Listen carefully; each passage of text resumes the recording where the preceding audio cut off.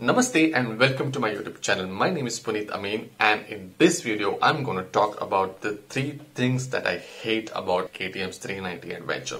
Now this video is a small part of my complete ownership review video.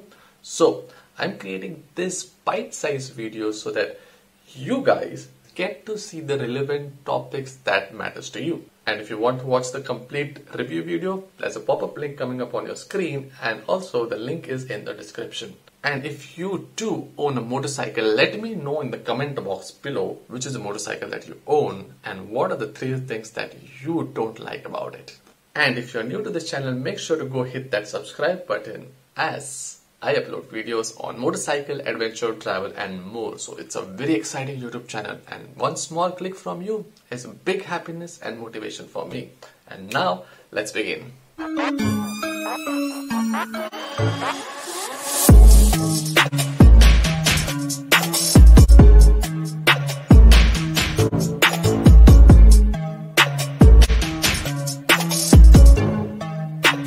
Let's come to the not so good points about the motorcycle and the areas that the KTM can improve over the period of time or for their next generation.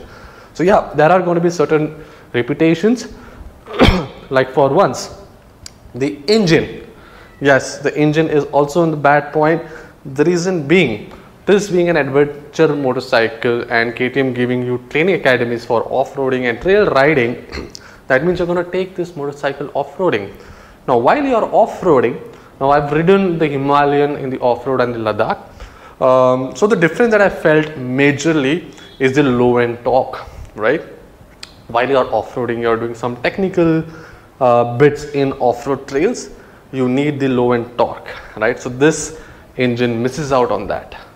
And what you end up doing is managing your clutch input and the throttle input. So you need to get used to it. You need to train your brains and you know your muscle memory to how to react react to every kind of a situation uh, while you're off-roading or while you're in cutthroat traffic and you want immediate power to shoot out of the signal or some corner or something like that right?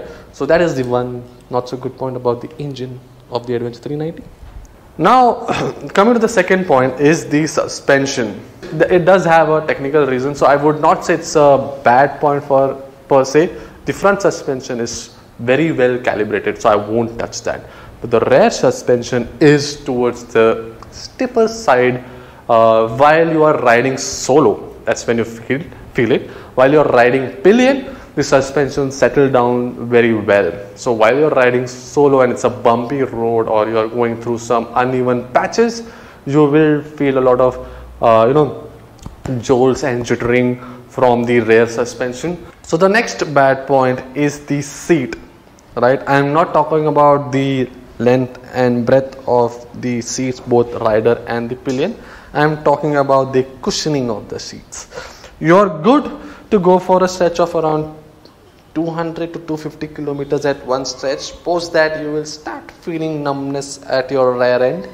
Uh, same goes with the pillion seat. So that's not so very good about the motorcycle, and I would suggest that you either cushion it up a little bit or use the air seat or the gel seat that you find in the aftermarket, and that's an easy fix. So that should not be a problem. Now the third not so good point about the motorcycle is the vibrations that come from the engine.